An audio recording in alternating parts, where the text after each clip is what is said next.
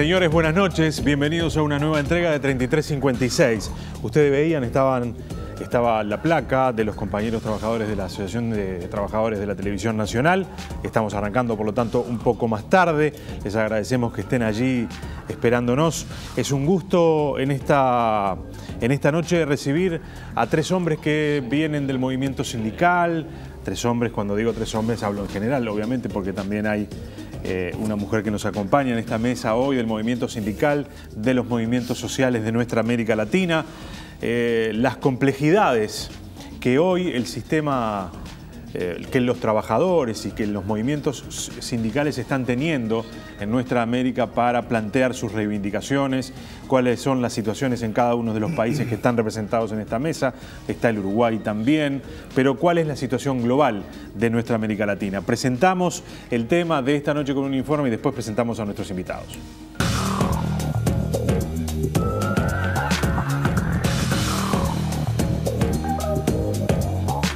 Luego de un arranque de siglo en el que los trabajadores sindicalizados de América Latina lograron varias conquistas en materia del empleo y las condiciones laborales, el advenimiento de una corriente de gobiernos conservadores con promesas de flexibilización laboral puso en jaque esas conquistas y obligó al movimiento sindical a repensar estrategias.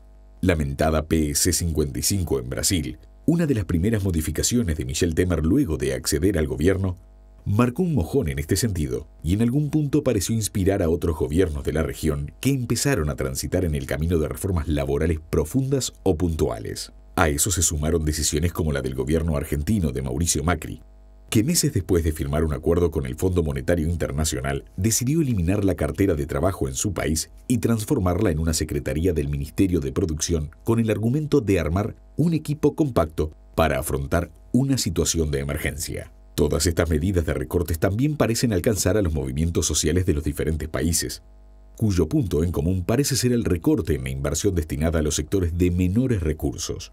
Es así que los trabajadores de América Latina han venido enfrentando nuevos desafíos a la hora de defender conquistas laborales que garanticen condiciones de empleo aceptables y reconozcan derechos sindicales. La libertad sindical y la libertad de asociación son un derecho humano fundamental que, junto con el derecho de negociación colectiva, son esenciales para la Organización Internacional del Trabajo.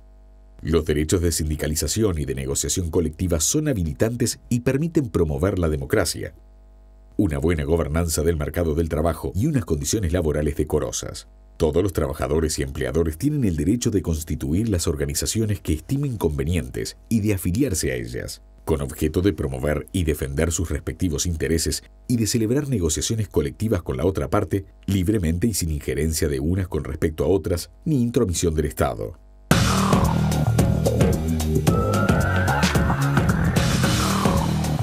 Es un gusto recibir esta noche a Marta Flores de la organización Jubileo Sur, una organización nicaragüense. Gracias por acompañarnos. ¿eh?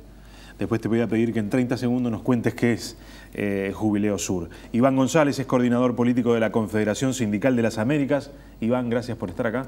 Gracias a ustedes por invitarme. Y Martín Ford, secretario de Relaciones Internacionales de AEU. Muchas gracias por la invitación. ¿Qué es Jubileo Sur? Brevemente. Jubileo Sur es una red, eh, una red no de Nicaragua, es una red que tiene presencia en la región Mesoamérica, Cono Sur, Andina y Caribe. Es una red que tiene 20 años en este año 2019, recién cumplimos 20 años de habernos formado y trabajamos sobre el eje del enfrentamiento a los procesos de deuda financiera y ecológica, así como el, el elemento de la justicia socioambiental en los territorios y todo lo que tiene que ver con los procesos de la militarización, la criminalización y la visión colonial que hay sobre nuestros territorios. Entonces trabajamos sobre estos tres ejes temáticos. Es una red que tiene presencia en 18 países con 25 organizaciones que representan la red. Exactamente. Eh, la Confederación Sindical de las Américas, Iván, también brevemente para que los que nos están escuchando y de repente no la conocen, eh, se enteren de qué estamos hablando. Y gracias y primero nuestra solidaridad con los compañeros del sindicato y de la acción gremial justa y legítima. Eh, nos solidarizamos en ese sentido con los compañeros de la, de la TV pública. Y la Confederación de las Américas es una expresión regional, es una de las organizaciones regionales sindicales existentes en las, en, las Américas, es, una, es la regional de la Confederación Sindical Internacional que afilia eh, más de 200 millones de trabajadores en el mundo y la CCA una representación de más o menos 55 millones de trabajadores desde Canadá, Estados Unidos, América Central, Caribe, países del Cono Sur, eh, de andinos. Y la, novedad es que la Confederación se instaló en Montevideo hace relativamente poco tiempo. Sí, estamos en, de mudanza después de 12 años en San Paulo, antes estuvimos en Caracas, antes en, Brasil, en México, digamos, en la, dinámica de la organización regional, antes era regional interamericana, de 2008 regional de Organización Sindical de las Américas y este año, en febrero, el Consejo Ejecutivo aquí sesionó en Montevideo y fue el, acto oficial de, instalación de nuestra oficina.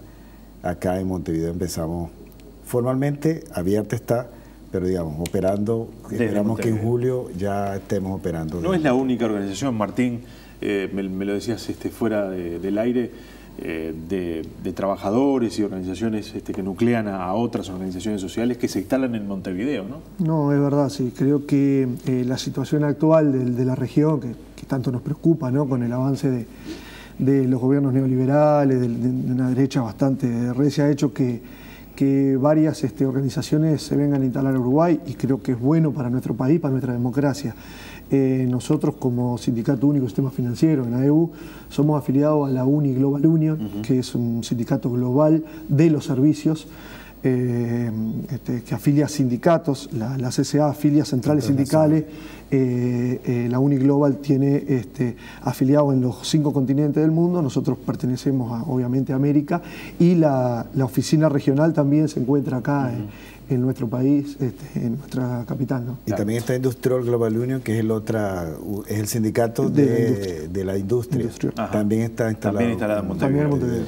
Eh, a ver, nosotros hacíamos un diagnóstico que es propio, que no, ni siquiera sé si es compartido por quienes están en esta mesa, pero en los últimos, por poner un límite temporal, cinco años, ha habido una serie de cambios de signos en los gobiernos de nuestra América que han significado para muchos sectores sociales y para los trabajadores retrocesos eh, importantes, significativos. Hablábamos en, el informe de lo que pasa en Brasil, de lo que pasa en Argentina. Podríamos dar otros ejemplos, pero creo que esos son paradigmáticos porque además la fuerza que se, se ha utilizado para instalarlo coinciden en esto. Efectivamente, ustedes ven que se está avanzando sobre los movimientos sindicales, sobre los movimientos sociales en nuestra América a partir de la emergencia de estos gobiernos. Sí, en el, digamos que la, lógica de la agenda conservadora, neoliberal, eh, se soporta inicialmente en el desmontaje de, la, de lo que tiene con la, el mercado de trabajo la desregulación, la flexibilización laboral. Entonces, digamos, esa es una condición básica de esa agenda conservadora. Luego vienen los recortes, o junto con ellos vienen todo lo que viene con el recorte en el área social, que afecta no solamente a la clase trabajadora empleada, sino a la población general. Pero en todo caso, es una, es una tendencia política instalada en la región. Eh, eh, hubo un periodo en donde eso se resistió, porque la justificación es la crisis eh, económica mundial y la necesidad de que las economías se ajusten y por lo tanto hay que cortar lo que impide el crecimiento económico y, tal.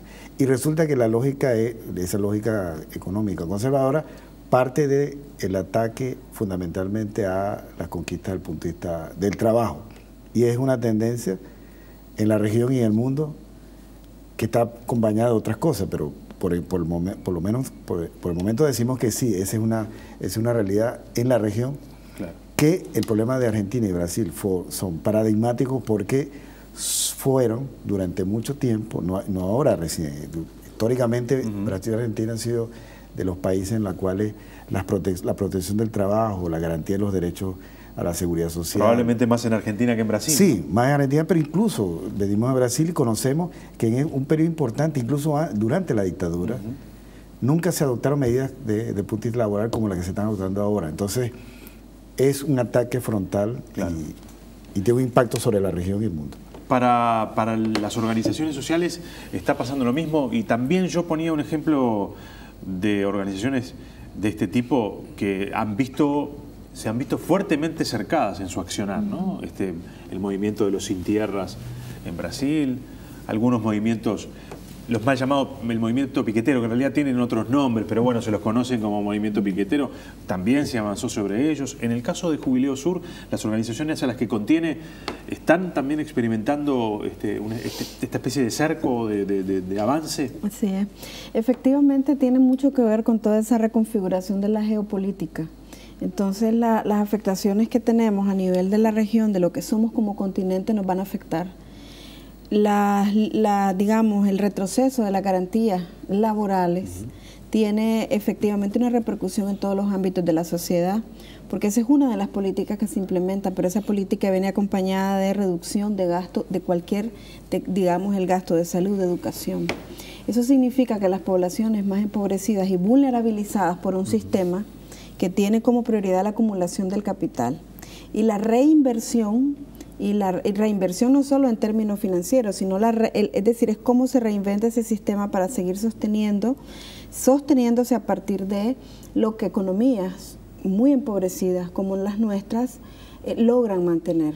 Pero son economías que han sido, digamos, empobrecidas y son dependientes de un sistema justamente a propósito. Entonces, para eso tenemos toda una estructura de un poder corporativo que por un lado tenemos los estados, eh, eh, digamos que tienen el, control, pero no solo el control político, es el control financiero, es el control de la tecnología, es el control de la ideología, de la política, de la religión, de todo, para poder tomar las decisiones que, eh, que van realmente a beneficiar a, a, las minorías, ¿no? que es esos grupos que tienen el poder. Entonces, en términos de los movimientos sociales que tienen demandas diferenciadas, ¿no?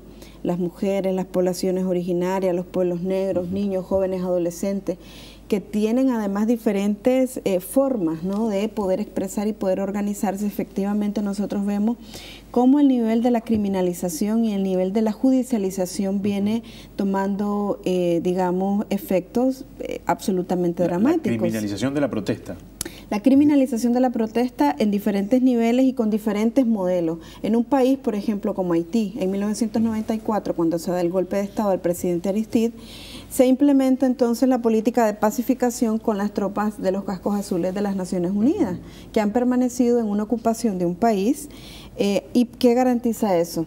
Garantiza la posibilidad de que las empresas transnacionales lleguen y hagan sus negocios, pero garantiza también un control geoestratégico de la región del Caribe y la posibilidad de tener directo a Venezuela. Eh, un ejemplo muy claro. Las empresas entonces tienen una, digamos, una complicidad con los estados, pero también obedece a ese mismo control. No hay ningún poder que está separado del otro. Lo que pasa es que cuando hacemos esa, ese análisis esquemático nosotros separamos las cosas, pero el ámbito laboral es un ámbito político, es un ámbito que reivindica también. Y el ámbito laboral nos compete, porque aquel trabajador o aquella trabajadora que tiene condiciones precarias, es, es, es una mamá de familia, es un padre de familia, es un líder que tiene un rol en su comunidad al ser desempleado, al tener esa carencia, el, principal, digamos, efecto es en la familia. La principal consecuencia es migrar. Eso tiene un efecto social que desestructura la comunidad, que desestructura la historia. Entonces, efectivamente, no hay tal separación. Cada uno tenemos sectores donde estamos haciéndole frente, pero finalmente es un tema de cómo entendemos estos cambios y las afectaciones que tiene sobre las mayorías. Eh, Martín Uruguay. Eh, en este marco que estamos conversando con Iván, con Marta, parece haberse, haber logrado despegarse al menos este, de las situaciones más dramáticas en este sentido. ¿no? Sigue teniendo Uruguay un sistema de protección social importante, una serie de conquistas en materia de derechos laborales, recuperación salarial, en fin, una serie de indicadores que, permiten decir que Uruguay, al menos por ahora, se diferencia levemente de, la región. Pero sin embargo, probablemente ustedes entiendan que hay algunos asuntos, porque las conquistas no son para siempre. Eso está clarísimo, ¿no? Eh, por ejemplo... Deberían ser. Bueno, pero no lo son. Aspiramos. Exacto. Eh, yo escuchaba, por ejemplo, al presidente de la Cámara de Comercio y Servicios hace unos días atrás, eh, diciendo claramente que él entendía que el modelo actual de negociación colectiva había que dejarlo de lado y había que ir a un sistema de negociación este, sindicato a sindicato, empresa por, empresa, con lo eh, que eventualmente sabemos que trae como consecuencias. Eh, ¿Cómo visualizan entonces al Uruguay en el marco de la región y cómo observan ustedes estos fenómenos que empiezan a emerger y que empiezan a decir con más claridad hacia dónde quieren ir? Bueno, eh, yo creo que evidentemente no estamos vacunados, este, hemos tenido un proceso de, mucho crecimiento en distintos en distintos órdenes, en, el orden social, en, los aspectos laborales, el crecimiento real del salario es indudable, no hay quien lo niegue, este, pero estamos también en una realidad bien complicada, como relataban los compañeros, rodeados de dos gigantes con, con una complejidad enorme. Eh, y en un año muy especial, ¿no? en un año electoral, este, nosotros desde el movimiento sindical, desde nuestro sindicato y de la central, este, venimos interpelando a los distintos candidatos este, eh, a, la presidencia a que planteen cuál es su propuesta, porque en tiempos electorales a veces este, eh, nadie va a tocar los consejos salarios, nadie va... Este, y todos conocemos la realidad de este país lo que hemos vivido, este, eh, lo que fue el 2002, lo que fue los 90. Entonces nosotros realmente queremos lo que hemos avanzado, no perderlo y consolidar conquistas. Y estamos convencidos que eh, cuando a los trabajadores le va mejor, cuando la economía es sana, cuando el consumo eh, es permitido, la economía en general gira mejor. En estos, momentos, en estos años de crecimiento del salario, también hubo un crecimiento pronunciado de la economía.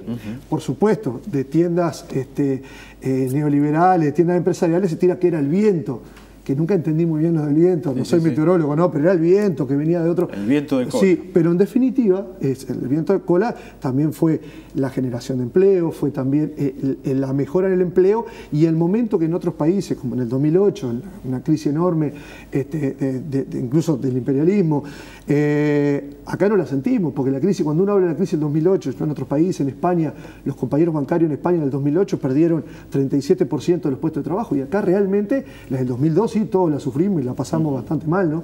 Pero la del 2008 nos sintió justamente por el consumo, se, explica principalmente por el consumo interno. Por, un mercado interno que estaba dinámico, fuerte, o sea, eh, inversiones públicas en, infraestructura, además que llevaron a que, entonces nosotros creemos que ese es el camino. Y para consolidar eso, evidentemente necesitamos un movimiento sindical fuerte, un, movimiento sindical eh, eh, solidario, como lo es el uruguayo, pero involucrado también con lo que es la región. Nosotros no entendemos el movimiento sindical corporativo, único, protegiendo solo lo mío.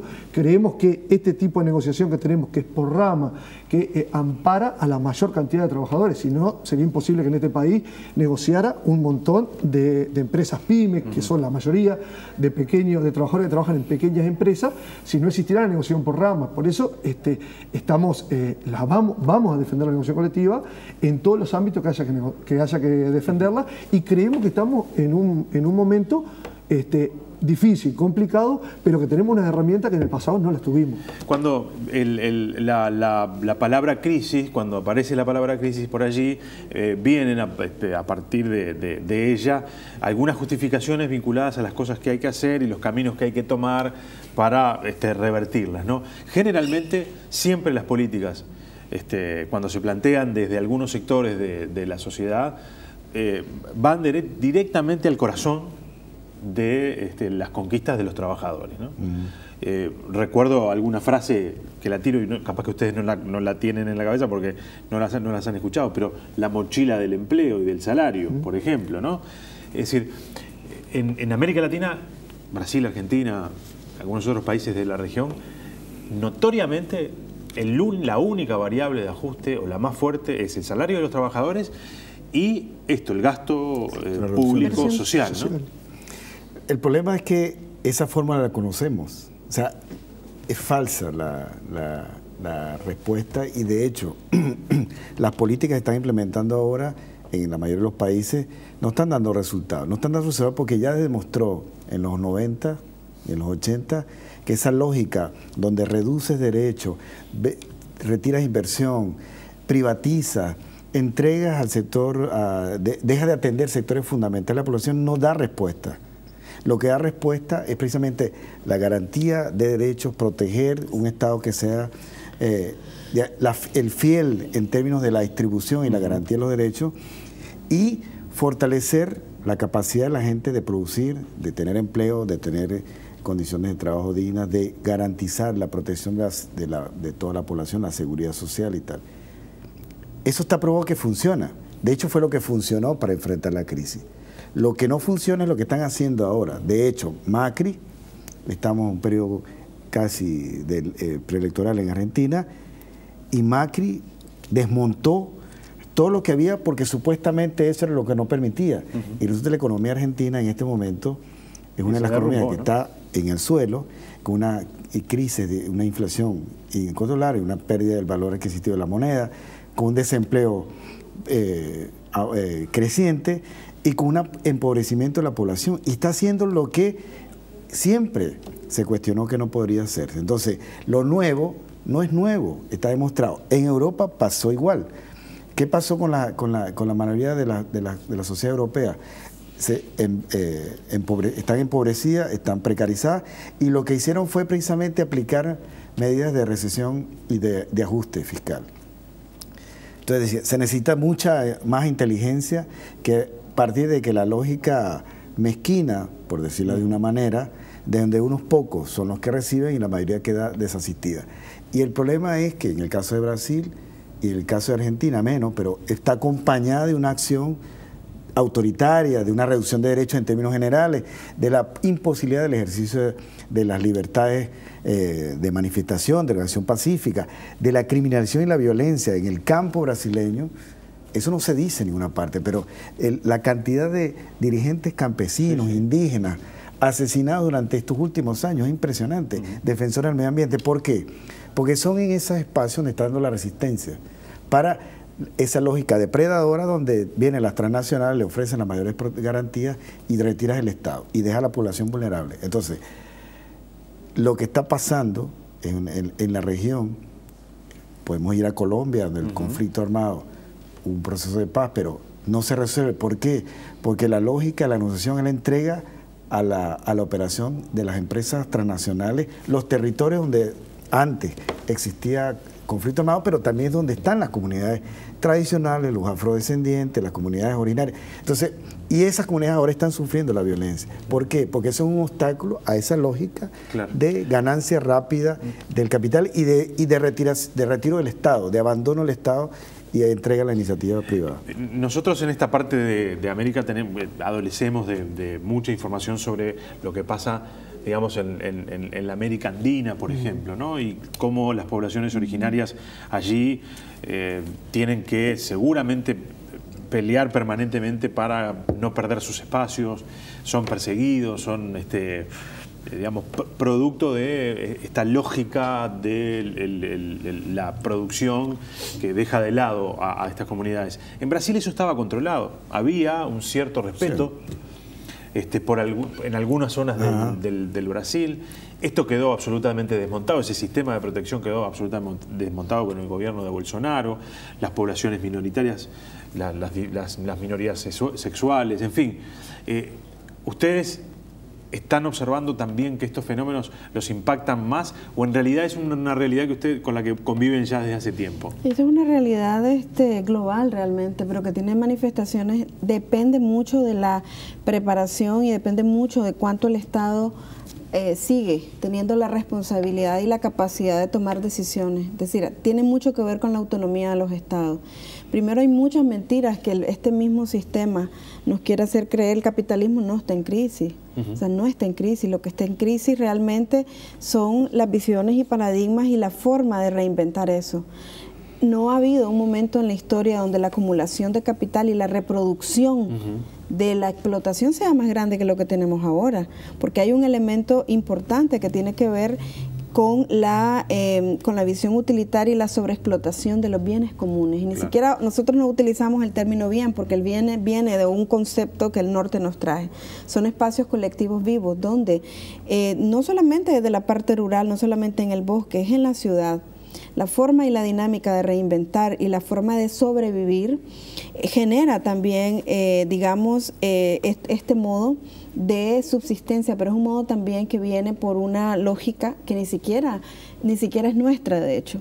que tiene que ver con, la, con el consumo, que tiene que ver con la explotación, que tiene que ver con necesidades inventadas. Entonces, las responsabilidades no son transferidas a nosotros. Es por eso que el acuerdo para combatir el cambio climático no funciona. Claro. Porque te trasladan a vos la responsabilidad si en términos porcentuales, y no digo que no tengamos eh, problemas y, temas que, de urgencia que atender en nuestros países, pero en términos porcentuales nosotros no creamos un problema que tenemos hoy en términos de efectos de cambio climático que está repercutiendo en la vida, en la vida cotidiana de nosotros. Nosotros lo vemos eso las grandes economías que crean eso te crean el problema y te dan la solución. Entonces te creas la economía verde donde todo tiene valor, el aire tiene valor, eh, el, bosque tiene valor, yo te contamino y además yo pago para poder hacerlo. Pero además, ¿quiénes son los protagonistas? Son las corporaciones, la Coca-Cola que está negociando salvar el planeta cuando es una de las principales transnacionales que explota el agua.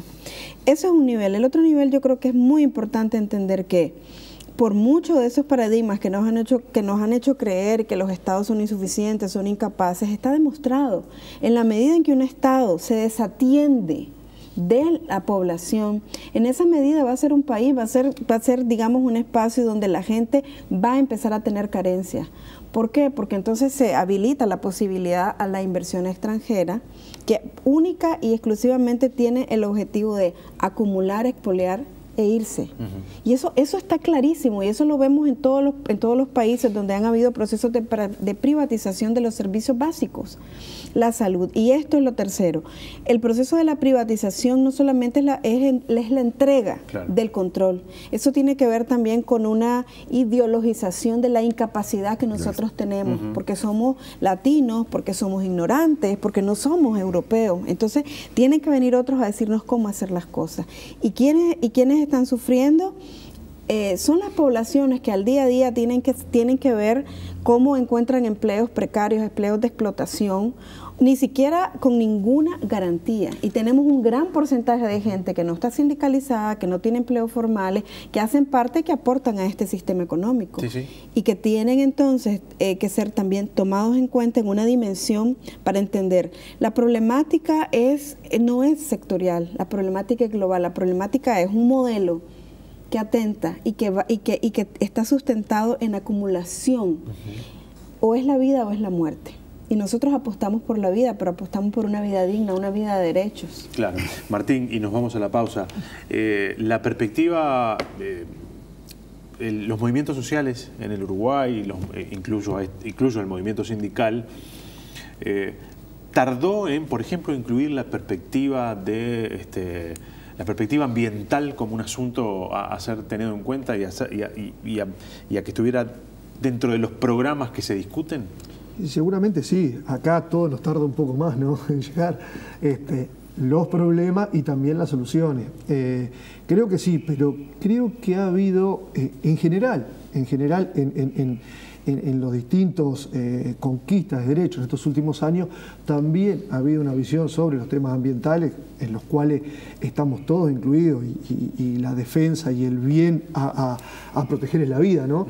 Este, que se está avanzando. De hecho, eh, eh, en los acuerdos, incluso en los acuerdos colectivos, en las distintas cosas, hay una tendencia a atender también esos temas.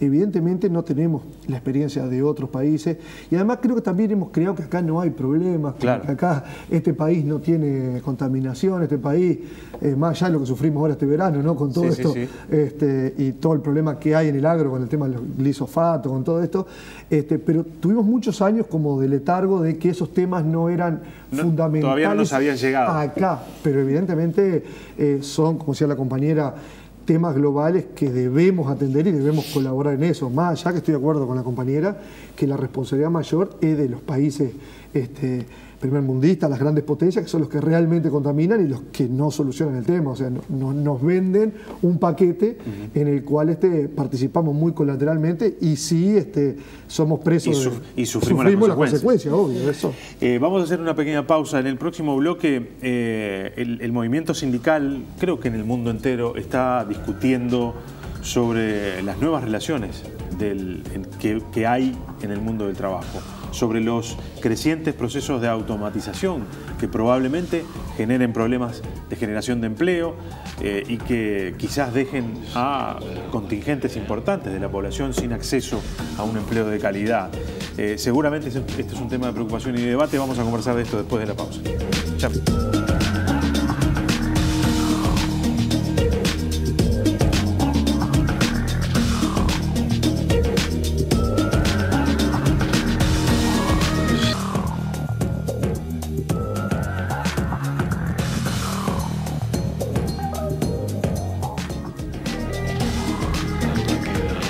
Seguimos adelante en el marco de estas complejidades. Iván, eh, ¿cómo repensar al mundo del trabajo en estas nuevas lógicas de producción donde la automatización crecientemente este, deja de lado a los seres humanos como fuerza de trabajo? ¿no? Es decir, ya tenemos un problema y rápidamente se nos mete otro.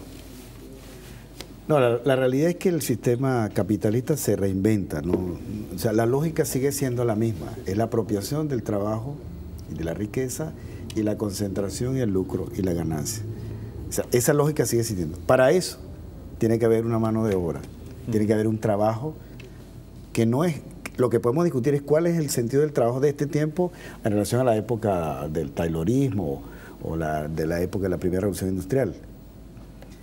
Lo cierto es que hay una masa de trabajadores y trabajadoras que garantizan que esa dinámica de reproducción del capital se mantenga. Esa es la primera, partimos de esa. Existirán, existen trabajadores y van a seguir existiendo una clase de trabajadores, una mano de obra posible, porque si no el capitalismo no será. Entonces empezamos a desmitificar esa, esa discusión respecto, no, es que vamos hacia una sociedad donde el trabajo va a dejar de existir, el trabajo humano. No, no. no es mera. ¿Quién hace las máquinas? ¿Quién controla? ¿Quién, quién, quién hace posible los cambios, los inventos, las invenciones, las manifestaciones en la tecnología? Es una mano de obra, tanto intelectual como mano de obra concreta que son trabajadores y trabajadoras. ¿Quién se apropia? Ahí está la discusión de este tiempo y del futuro. El problema no es el cambio tecnológico, el problema es el servicio de quién y de qué está ese cambio. Entonces tenemos varias discusiones respecto de cuál es el desafío nuestro en términos sindicales cómo nos posicionamos frente a una realidad donde los instrumentos de organización de la clase no pueden ser los mismos que teníamos para la segunda y revolución industrial o de la tercera, que es lo que pasa en muchos países. la respuesta del sindicalismo va a tener que ser distinta y esa es un desafío central. Pero la disputa está, sigue siendo una disputa de clase en donde los instrumentos de la negociación y la organización tienen que modificarse, donde el Estado tiene que seguir siendo eh, garante, donde no, es verdad que, la, que, la, tecnología resuelve y, la, y el conocimiento científico no prescinde de las instituciones y entonces ahora estamos en un mundo ideal, es falso. O sea, esa dicotomía no existe. Entonces, tenemos un desafío, claro, pero además tenemos un desafío en un, en en un planeta que está demostrado científicamente y en la vida concreta de las personas, lo cotidiano, que está en destrucción. Por esa lógica. Entonces, de nada sirve tener los avances científicos y tecnológicos de punta que tenemos si ese mismo sistema utiliza trabajo esclavo para, sobre, para funcionar. Porque está probado también eso. Si fuera cierto que, no, que, digamos, que el trabajo, el futuro, el trabajo que está discutiéndose a propósito de los 100 años de la OIT, eh, va a necesitar solamente de aquellos trabajadores capaces trabajadoras capaces de, de, dar respuesta en términos de su capacidad de producción, porque si no va a quedar de, fuera. No, este sistema está utilizando mano de obra esclava, infantil, mujeres, migrantes, para hacer esto que está haciendo. La tecnología, hablando de una cosa más muy concreta que tenemos en nuestros celulares, las aplicaciones, detrás de las aplicaciones que hay, hay mano de obra. ¿Quién se beneficia? de estos muchachos, muchachas que son repartidores, que están usando aplicaciones, de empresas que están fuera de este país, que son transnacionales. Y esos trabajadores y esas trabajadoras no tienen ninguna capacidad, no tienen derecho, no tienen garantía. Entonces tenemos un desafío muy grande por, por delante. Es un cambio tecnológico. El problema está en la disputa de quién se apropia de eso. Sigue siendo el sistema capitalista dominante el que se benefició del carbón, de la máquina de vapor y se está beneficiando de este tiempo. Y esa disputa no va a ser resuelta sin instrumentos de organización de la clase, pero también sin un papel activo y fundamental del Estado, las políticas públicas y de los derechos. Eh, Marta, eh, claro, hablamos de tecnología y hablamos de automatización, sin embargo el modelo extractivista va a seguir funcionando y las materias primas que existen en este continente van a seguir siendo este, extraídas con mucha fuerza y, en, y, en base, y sobre los hombros de los trabajadores. Es decir, que ahí hay un desafío gigante, ¿no? Totalmente.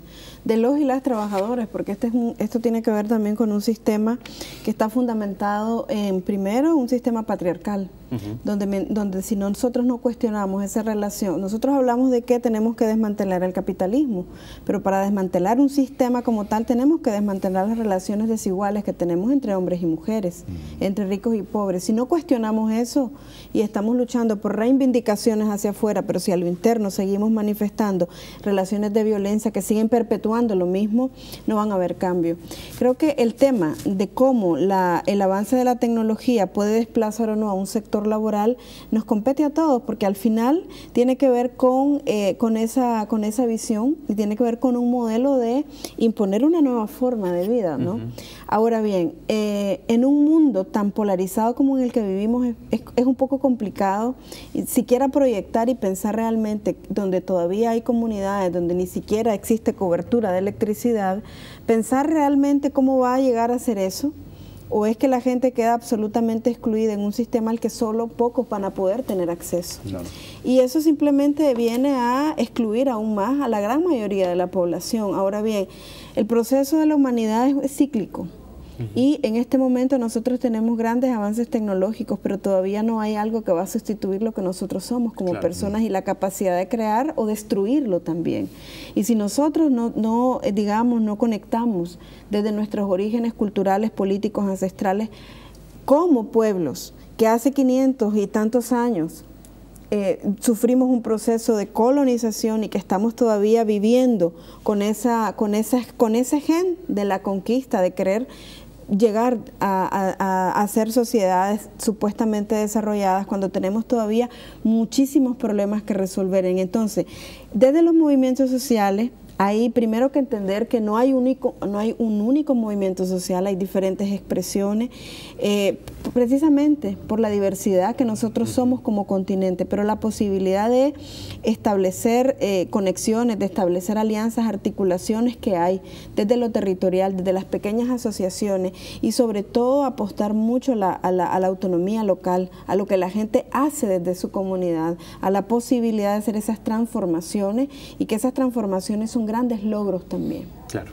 Eh, Martín, y, cierro contigo 30 segundos, el sistema financiero uruguayo, seguramente los trabajadores del sistema financiero uruguayo seguramente tienen algunos desafíos, el sistema financiero va a seguir funcionando y va a seguir haciendo dinero seguramente a rolete, eh, pero los trabajadores tienen un desafío vinculado a algunas de estas cosas que decíamos acá, ¿no? Sí, está claro. Eh, el sistema financiero como un sistema de servicio y, como una de las herramientas justamente del capitalismo, ¿no? de desarrollo y, y de intercambio, principal herramienta, eh, es de los que se mueve más rápido con este tema de la tecnología. Este, eh, para nosotros es un, desafío gigante el tema de la inclusión tecnológica de los trabajadores este, y de la preparación, pero evidentemente lo que tenemos que repensar es cómo se distribuye esa riqueza que gana con la tecnología el empresario, el capital financiero, que se potencia esa ganancia por el uso de todos estos medios, bueno, ¿cómo la redistribuimos? ¿Cómo sostenemos, por ejemplo, el servicio de seguridad social? Por ejemplo, este, con, en vez de trabajadores hay este, cajeros automáticos. Con la merma de trabajadores este, y, con el crecimiento de este, la expectativa de vida y con una serie de, parámetros que llevan a, que peligre. Nosotros, de hecho, de la caja bancaria hemos tenido algunas soluciones y bastante exitosas, podríamos decir, este, grabando justamente eh, el capital, grabando eh, eh, los, los activos de las empresas financieras. O sea, a cuanto más tecnología incorporan y más activos tienen, pagan un impuesto con el cual sustenta la seguridad social. Creo que es una idea por la que hay que caminar y hace poco este, lo estaban diciendo desde el BPS, la autoridad del BPS, hablando de que de repente es una de las cosas que hay que ir pensando.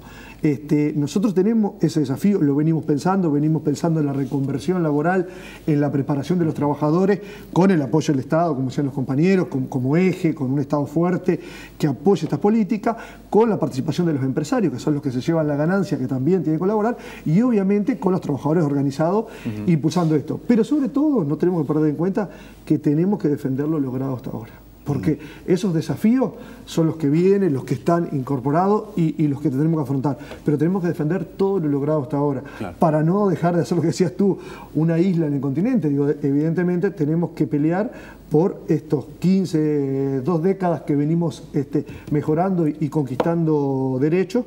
Este, y bueno, en, eso estamos todos, todo el movimiento sindical uruguayo. Claro. Este, eh, Iván, Marta, Martín, gracias por habernos acompañado esta noche. Ha sido un, gran gusto. ¿eh? Muchas gracias. De verdad. Nosotros nos reencontramos el próximo viernes, señores, a las 20 horas aquí en Televisión Nacional.